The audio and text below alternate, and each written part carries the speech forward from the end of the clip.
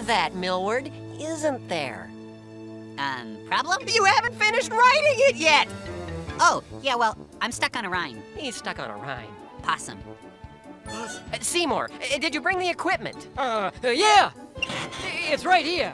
Millward, I need you to write that script. I need you to write like the wind. I'll try. No, we're not gonna try, Millward. No, we're gonna do it this time. We've never had a chance like this, Millward. If your uncle didn't like you so much, he never would have let us use his theater. But if the show doesn't work, we'll be back to write an ad copy for Darling's Dental Wax. I'm not going back, Millward. No, this is our chance, and we're gonna take it.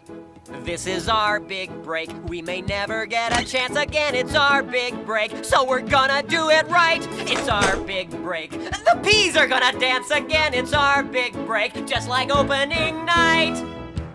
So, what's in the box? Ah, Millward, in this modern age, it isn't enough just to have a great story anymore. No, you need to show the audience something they've never seen before. You got a monkey that can yodel? No, Millward. Electric lights! Spectacles, the name of the game. Whoa, cool!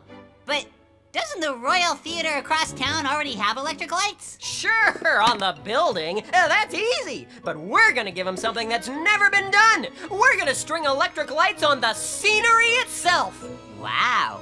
Can you do that? It's a bit of a fire hazard, but... But when you get your big break, sometimes you've gotta take big chances. Right, Winston? That's right, Monsieur Appetite. Cause it's our big break. So we're gonna take a chance again? It's our big break, cause we're running out of time. It's our big break. Yeah, they want extravagance, my friend. It's our big break. Now go find that rhyme. Say, Winston, any luck with the Crown Prince? I'm talking to him right now. Hello, Prince. You mean the